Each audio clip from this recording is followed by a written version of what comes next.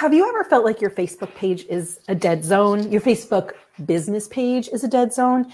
This month, I'm talking about visibility and how to be more seen. And it's really, really hard to do when you feel like you're working so hard on your content and maybe you're even being consistent and you're showing up, but like you're getting nothing no comments, no likes. I want you to know it's not necessarily your fault. There's a lot going on on Facebook right now. There's a lot going on in the world right now. It's a really noisy place.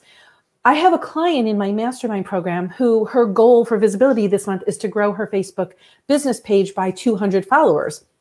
But what I know about Facebook right now is unless she puts some really some other clear changes in place, it really won't matter how much she grows her Facebook business page by. So I'm going to be doing a series of ways to create more engagement on your Facebook business page that it, we'll, we'll eventually be talking a little bit about ads, but let's talk about organic reach, okay?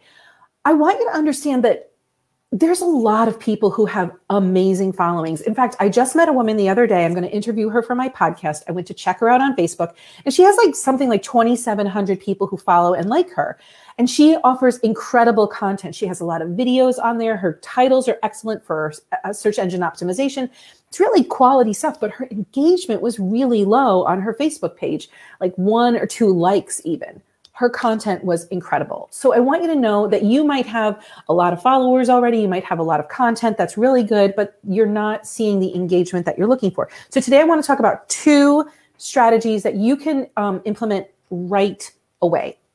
And now I'm encouraging all of my clients, and I'm actually working on this overtly with my masterminders this month in November to really focus on one thing to increase visibility. Because if you're not seen, people don't know that you exist and they can't buy from you, then your business is not going to grow. So we're going to talk about two visibility strategies, two overt things that you can do to start increasing your visibility on Facebook. I'm going to be short and to the point.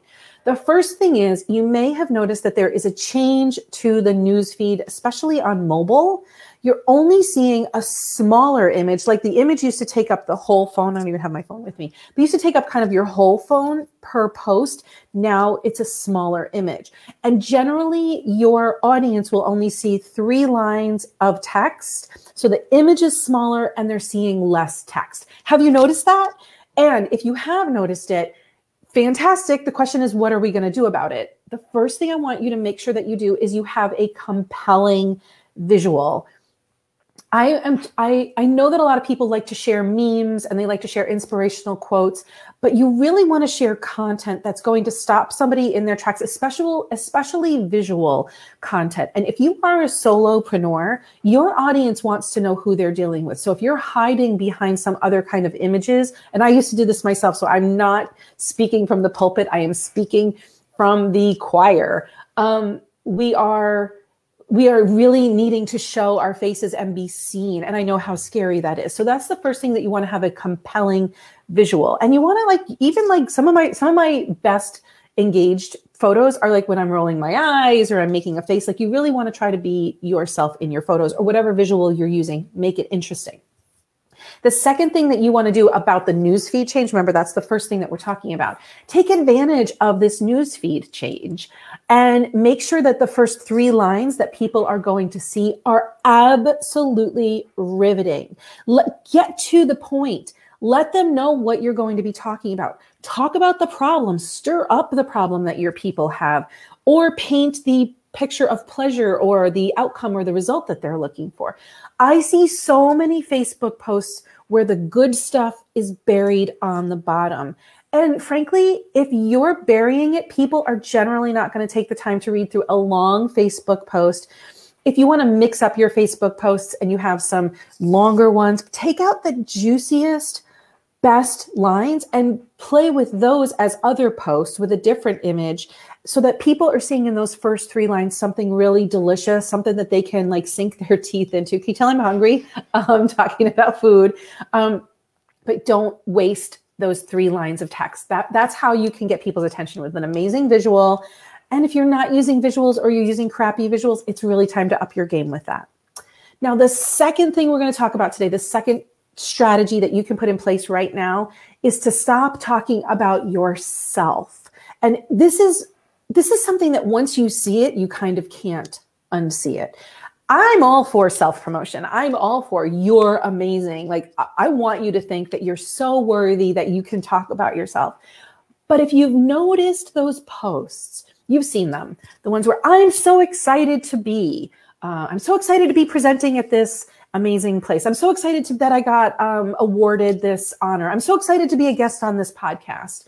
Those are the posts that feel really they can feel really hard for people to put out there so i know how much oomph it takes to put a post like that out there so i'm not trying to downplay that i'm just saying you've got to change your language because if you notice those i'm posts or this is what my clients are saying about me they don't get a lot of interaction people might nod they might be like good for her good for her but they're not interested they just don't get a lot of traction or engagement and they don't get a lot of shares so here's what I want you to do. I want you to think about a language switch. And it's very hard to do until you start to flex the muscle over and over again.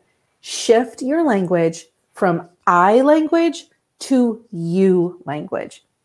Now, what I mean by this is instead of saying, I'm so excited to be a guest on this podcast, that's just not engaging. Good for you that you're excited. I mean, I don't mean to be a jerk, but, but great. Good for you that you're excited, but I'm not engaged by that. What would I be engaged by? Your job as somebody who is marketing and being visible is to think about what your audience would be engaged by. What would they care about in this post? Why should they care that you're on this podcast? It's the ultimate marketer's question. What's in it for me? you have to know the answer to that for your audience before you start a post. So, one of the strategies that I work on with my clients is go ahead and write your post in the I form. Go ahead and get it all down. And then I want you to take a look at it and I want you to really think what in there is compelling to your audience. Because if you're not making something about your audience, they're going to blow right past it. Let me give you an example back on the day after Ruth Bader Ginsburg died, I wanted to do a post on my personal page about, you know, how I was so impressed by the work that she had done and that I was really amazed by in my short life. Um, well, I'm 50, but like in my in the time that I've been alive, how much women have gained and what what she did to help women. And I was thinking about like okay, well, that's great that I feel that way, that I'm just like, wow, women have come so far since 1970. But like, who gives a shit that I'm so impressed by that? So instead, I wrote the post to be all about do you know somebody who's in their 50s? I bet you know somebody who's in their 50s. Did you know that in that in that person's lifetime in 1974? Do you know somebody who was alive in 1974? In 1974, women were not allowed to have their own credit card.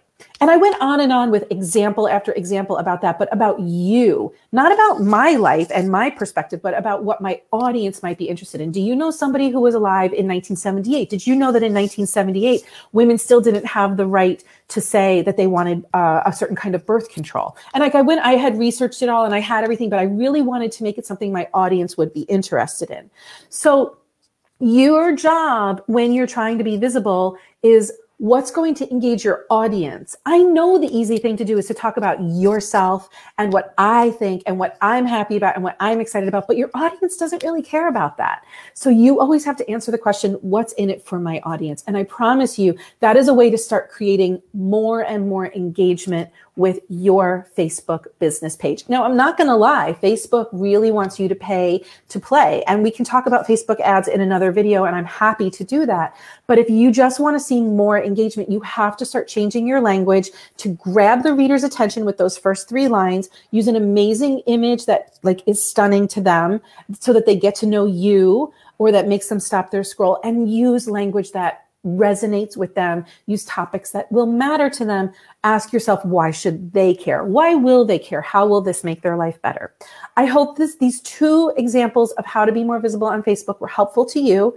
I am here for any questions. I would love to hear if you have anything to drop in the um, in the comments. And I'm actually going to go try to find that Facebook post, which I did on my home, my personal page, and maybe copy it here for you to link to. I have a free tool for you called seven um, seven strategies to increase your visibility. And I will also drop the link to that in the, the comments here because I want you to be more visible. Once you're seen, your audience can come to know you, like you, trust you, and love you. And that's how they're going to want to work with you. So visibility is a non-negotiable anymore for our businesses. So I'll drop that also in the in the comments. But I'm here for any questions. My name is Jen Liddy. In case you didn't know, I'm a business development coach, and I help women put systems and strategies and messaging into place so they can grow their business make a lot of money, and have a life. Thank you for stopping by. Bye.